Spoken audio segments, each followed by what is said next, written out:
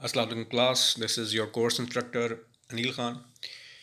For entrepreneurship, obviously for um, the reason of the coronavirus, we are not able to have classes in person.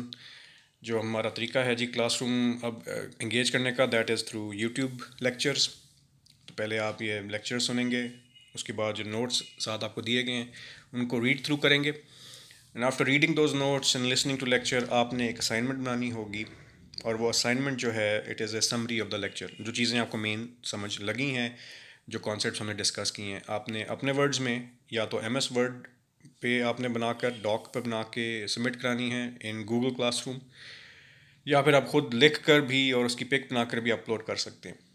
और ये जो assignment है this will be considered your attendance जो student assignment जमा कराएगा during lecture hours उसी की attendance लगाई जाएगी। The notes when you read through them घंटा डेढ़ घंटा लगेगा आपको उनको रीड थ्रू करने में और इतना ही टाइम लग जाएगा आपको मैक्सिमम असाइनमेंट बनाने में। तो जो टाइम आपको मिला है थ्री आवर्स का लेक्चर जो आपका है आपने उसको यूटिलाइज़ करना है।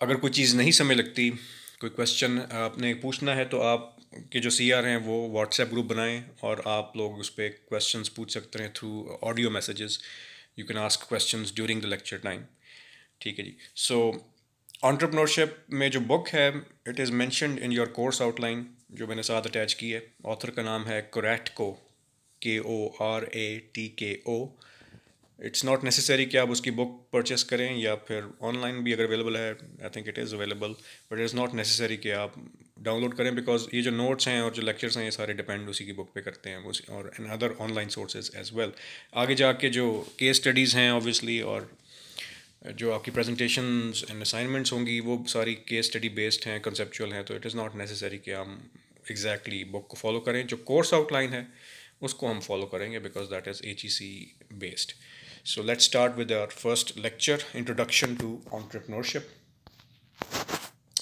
first heading 1.1 evolution of entrepreneurship कि ऑन्टरप्रनोरशिप का आइडिया जो था वो कैसे बना? How did it form to its modern concept क्योंकि ये कॉमन वर्ड है ऑन्टरप्रनोरशिप या ऑन्टरप्रनोर जो लफ्ज़ है। कोई भी शख्स जिसको हम कंसिडर करते हैं, जिसने अपना बिज़नेस खुद स्टार्ट किया हो, कोई नया आइडिया इनोवेशन लेकर आया हो, जैसे बिल गेट्स है या स्टीव जॉब्स हैं तो ये एग्जाम्पल्स हैं ऑन्टरप्रनोर्स के हमारे सामने। तो वर्ड इट ये जो है ऑन्टरप्रनोर का लफ्ज़ ये फ्रेंच वर्ड इसका रूट वर्ड है मीनिंग टू अंडरटेक किसी भी काम को करने के लिए जो आप एक कमिटमेंट शो करते हैं, तहिया जब आप करते हैं कि जी आपने विद इन ए डेडलाइन वो चीज़ अचीव करनी है that is where the idea comes from और ये चीज़ बार बार आपको नज़र आएगी कि जितने भी ऑन्टरप्रनोर्स हम डिस्कस करते हैं in class we will see कि उनमें यह चीज़ कॉमन है कि वो लोग जो हैं कमिटमेंट शो करते हैं विद द आइडिया उन्होंने ये एज अ हॉबी स्टार्ट नहीं वो करते बिज़नेस को फोर्टी परसेंट या फिफ्टी परसेंट एफर्ट नहीं करते, वो हंड्रेड परसेंट एफर्ट शो करते हैं और सेक्रीफाइसेस करते हैं, कुर्बानियाँ देते हैं। And as a result they are able to succeed undertaking है जी। और सबसे बड़ी अंडरटेकिंग इसमें जो होती है, वो है रिस्क जो है। जितना भी इन्वॉल्व है रिस्क एक बिज़नेस आइडिया में, एक बिज़नेस प्लान में फाइनेंशियल रिस्क इंक्लूडेड तो वो तमाम रिस्क भी वो अपने सर पे लेते हैं। इसमें दो डेफिनेशन अलग मैंशन हैं। एक है ऑन्ट्रप्रनोर का जो लफ्ज़ है और एक है entrepreneurship so what is entrepreneur it is someone who undertakes manages and assumes the risk of a business ठीक है तीन चीज़ें हैं। एक तो अंडरटेकिंग यानी कि कमिटमेंट फॉर्मल कमिटमेंट वो लेता है कि जी, वाकई मैं जितना भी टाइम ड्यूरेशन है for example one year two year plan है उसका थ्री ईयर प्लान है, उस अरसे के लिए ही इज़ कमिटेड बाकी सारी चीज़ें जो होंगी अपनी पर्सनल लाइफ में प्रोफेशनल लाइफ में वो सेकेंड नंबर पर रखेगा।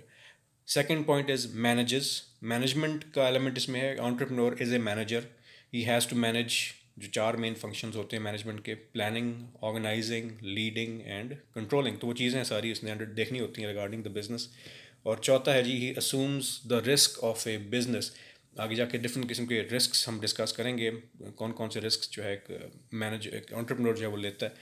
He has to be responsible ultimately वो खुद रिस्पॉन्सिबल है, तमाम जितने उसने रिस्क लिए हैं, एक बिज़नेस की कामयाबी या उसकी फेलियर के लिहाज से। Then there is the definition of entrepreneurship It is a dynamic process of creating incremental wealth through assuming major risks in terms of equity, time and career commitment. तो ये एक प्रोसेस है। ऑन्टरप्रनोर जो है वो एक शख्स है और ऑन्टरप्रनोरशिप एक प्रोसेस है। प्रोसेस का लफ्ज़ जब भी हम यूज़ करते हैं बिज़नेस में इट सिंपली मीन्स इसके अंदर स्टेप्स इन्वॉल्व होंगे। और वो स्टेप्स क्या हैं? That is called the business plan जो कि हमारा सेकंड और थर्ड जो लेक्चर होगा और mostly it will focus on business plan के जो कंपोनेंट्स हैं, उस पर तो बिज़नेस प्लान में फ़र्स्ट स्टेप जो होगा for example defining your vision statement mission statement and so on उन चीज़ों को one by one go through करेंगे। तो ये चीज़ एक इसका क्लियर एलिमेंट है कि it is a process stepwise इसको हम देखेंगे। और सेकेंडली डायनामिक प्रोसेस है कि ये हर वक्त चेंज होता रहता है। इसके जो चैलेंजेस हैं, जो रिक्वायरमेंट्स हैं डायनामिक मीन्स कि कभी भी सेम नहीं रहेगा। हमेशा कोई ना कोई तब्दीलियाँ आती रहेंगी। मार्केट में चेंजेस आते हैं कस्टमर डिमांड में चेंजेस आते हैं। कंपेरेटर जो है, वो आपका in terms of his strengths and weaknesses वो फ़र्क हो सकता है। तो वो डिफरेंट फैक्टर्स हैं। Dynamic process of creating incremental wealth incremental means आहिस्ता आहिस्ता जो है सक्सेस होता है। ज़्यादातर एग्जांपल्स जो हैं ऑन्टरप्रनोर्स की, उनको आप देखेंगे एकदम से सक्सेस नहीं होता, बल्कि कई फेलियर्स के बाद जाके उनको सक्सेस होता है। So it is a slow process at first through assuming major risk in terms of equity time and career commitment तो तीन किस्म के रिस्क जो हैं वो लेता है। Equity means in terms of जो वैल्यू है बिज़नेस की। टाइम मीन्स जो टाइम सर्व कर रहा है। एक्विटी ऑल्सो मीन्स जो अगर खुद भी पैसा लगा रहा है या किसी ने उसके बिज़नेस में पैसे इन्वेस्ट किए हैं that is equity financial risk वो ले रहा है। टाइम रिस्क जितना भी टाइम वो सर्व कर रहा है एक बिज़नेस को लॉन्च करने में, एक आइडिया को मार्केट में इंट्रोड्यूस करवाने के लिए दैट टाइम अगर वो फेलियर होता है तो वो सारा टाइम उसका जो है वो ज़ाया होता है। And third is career commitment कि वो कोई और दूसरी जॉब या कोई और करियर जो है at the same time run नहीं कर सकता। एट सम पॉइंट उसको चूज़ करना पड़ेगा, अपना जो उसका ऑन्टरप्रनोरियल आइडिया है। He has to be focus on only one thing क्योंकि वो इतने घंटे नहीं होते दिन में कि वो दो तीन चीज़ें एट द सेम टाइम कर पाए। So these are the two main ideas entrepreneur and entrepreneurship heading one point two और एक मेन जो सवाल बनता है इस चैप्टर में वो है जी मिथ्स ऑफ़ ऑन्टरप्रनोरशिप मिथ का जो लफ्ज़ है दैट मीन्स के कोई भी ऐसा आइडिया या कॉमनली हेल्ड बिलीफ लोगों में, जो लोग इसको एक्सेप्ट करते हैं, हालाँकि उसके पीछे कोई प्रूफ नहीं है इन ख्याल के पीछे। बस एक ये बन गई है मिसाल कि जी लोग देते हैं about entrepreneurs so word myth जब भी इस्तेमाल किया जाए, वो कोई भी ऐसा आइडिया जो मशहूर है लोगों में लोग उसको एक्सेप्ट करते हैं, लेकिन जब उसको स्टडी किया जाए एनालाइज किया जाए तो उसमें हक, कोई सच्चाई या उसमें सिंसेरिटी नहीं होती। There are ten different myths जो कि हम डिस्कस करेंगे। In terms of questions for papers this is an important topic क्योंकि मिथ्स जो हैं, इनको क्लियर करेंगे तो हम आगे जाके ऑन्टरप्रनोर्स के बारे में सही तरह से हम डिस्कस कर पाएँगे कि what is entrepreneurship so myth number one entrepreneurs are doers not thinkers entrepreneurs के बारे में ये चीज़ मशहूर है कि जी वो काम करने में माहिर होते हैं, लेकिन सोचने के लिहाज से न्यू आइडिया जनरेशन के लिहाज से वो इतने स्ट्रॉन्ग नहीं होते कि आइडियाज़ जो हैं वो किसी और के होते हैं, उनको लॉन्च करने के लिए ऑन्टरप्रनोर्स जो हैं वो स्किलफुल होते हैं।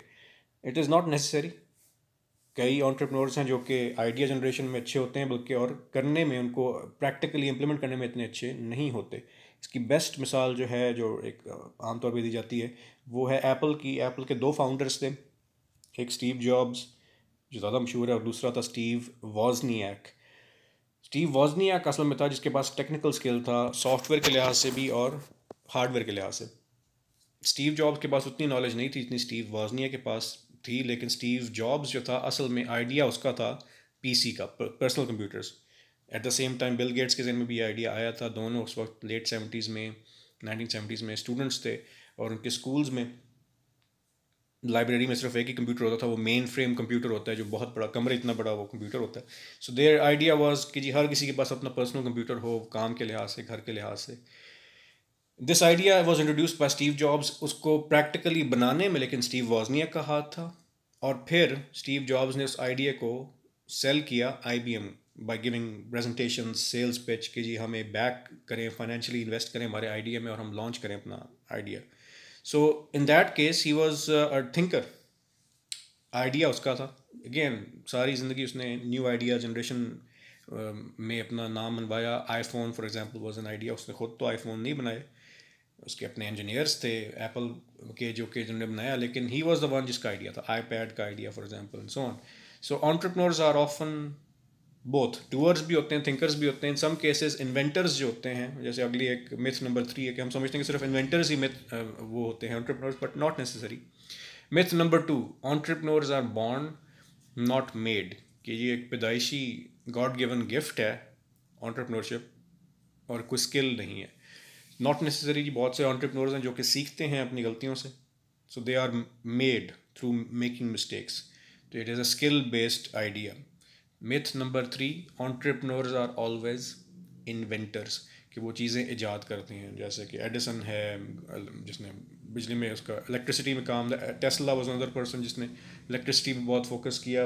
As an inventor Graham Bell Alexander Graham Bell made the telephone so on और ये बात सही है कि बहुत से जो इन्वेंटर्स हैं, आप जब उनको ट्रैक करते हैं, जिसने इन्वेंट किया अपना, कोई एक नया आइडिया उसने उसको पेटेंट करवाया और उस बेसिस पर बिज़नेस स्टार्ट किया। हेनरी फोर्ड जो था वो कार मेकिंग में for example he was an entrepreneur but it is not always true जैसे हमने डिस्कवर किया कि जी, बहुत से ऑन्टरप्रनोर्स जो हैं, उनके पास सिर्फ़ आइडिया होता है, उसको इन्वेंट कोई और करता है. और इन मैनी केसेस ऑन्टरप्रनोर्स ऐसे भी होते हैं जो कि सिर्फ़ रिसर्च एंड डिज़ाइन फ़ेज़ तक ही माहिर होते हैं. Four myth number four entrepreneurs are academic and social misfits एक ऑन्टरप्रनोर शख्स वही हो सकता है जो स्कूलिंग सिस्टम में फ़ेल हो, कि उस, है वो इंटेलिजेंट शख्स, लेकिन स्कूल और कॉलेज और यूनिवर्सिटीज़ जो हैं, वहाँ पर एडजस्ट नहीं हो पाता। या वो सोशल मिसफिट है कि जो एक सोसाइटी के रूल्स एंड रेगुलेशन हैं, उनके अंदर वो फिट नहीं आ पाता। जो एक नाइन टू फाइव जो एक लाइफ है, उसके अंदर वो शख्स जो है, वो अपने आप को नहीं देख पाता। इसलिए वो न्यू आइडियाज़ जनरेट करता है। इन सम केसेस ये बात बिल्कुल सही है कि वो लोग जो कि न्यू आइडियाज़ लेकर आते हैं, वो इसलिए न्यू आइडियाज़ लेकर आते हैं क्योंकि वो एग्जिस्टिंग जो सोसाइटी है, इसके लिए हम एक लफ्ज़ यूज़ करते हैं status quo S T A T U S status और को क्यू यू ओ कि जैसे चीज़ें हैं ऑलरेडी चल रही दैट इज़ कॉल्ड स्टेटस को तो वो उसमें एडजस्ट नहीं हो पाते, इसलिए वो न्यू आइडियाज़ लेकर आते हैं. बट नॉट ट्रू बहुत सारे ऑन्टरप्रनर्स आप देखेंगे जो कि हाईली क्वालिफाइड होते हैं प्रोफेशनल डिग्रीज़ उनके पास होती हैं और सोशली वो एडजस्टेड होते हैं और फिर भी वो न्यू आइडियाज़ लेकर आते हैं।